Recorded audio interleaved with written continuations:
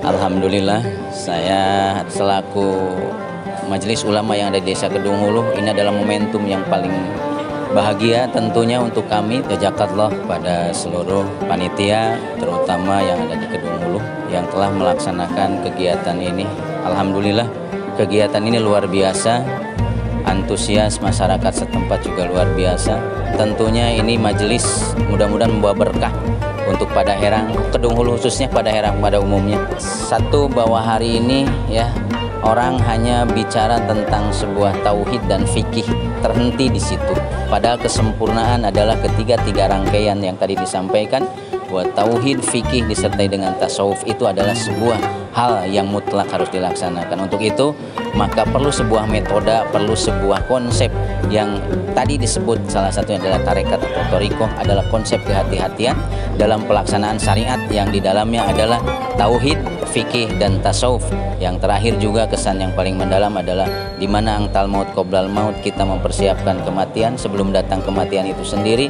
Maka insya Allah dengan semua terutama jamaah yang hadir tadi menyadari bahwa mempersiapkan kematian adalah segala-galanya. Insya Allah berkah dilimpahkan oleh Allah. Harus banyak berzikir kepada Allah.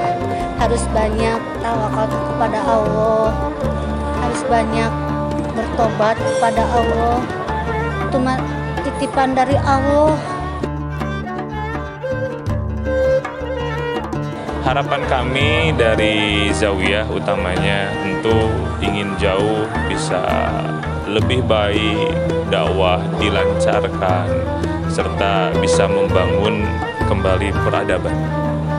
Kami sering kali menyebut dengan pondok pesantren Kampung Salik itu dinamakan Kampung Salik punya cita-cita ingin membangun peradaban. Peradaban orang yang melangkah melaju menuju Allah Ta'ala. Alhamdulillah berkah karomah Akbar karena model dan corak kami berdakwah itu selalu menjadi ambasadornya Syekh Akbar. Jadi mereka kami tidak membuat mereka mudah mengakses Syekh Akbar. Seperti misalkan acara Arba'in, kami tidak bawa mereka ke sana. Kami terbiah di sini, dikenalkan sosok beliau. Ketika dalam satu kondisi di luar majelis, saya beserta Ustaz Ridwan sering kali nukil nukil mutiara-mutiara Akbar. Sehingga hadir penasaran, sehingga hadir cinta dari mereka. Maka terbukti ketika pertama kali Syekh Akbar mengunjungi pada Herang dan di masjid besar ketika itu, itu spektakuler.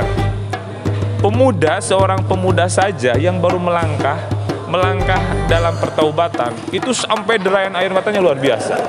Sampai beberapa jauh ya yang ikut hadir ketika itu merasa heran ini seperti apa tarbiyahnya. Alhamdulillah karena masih Akbar yang menjadi satu bimbingan karena banyaknya masalah maka berbuahlah solusi. Ya Rob ampuni seluruh dosa-dosa kami. Ya Rob ampuni seluruh kezoliman-kezoliman kami. Ya Rob bersihkan hati kami dari seluruh penyakit-penyakit hati.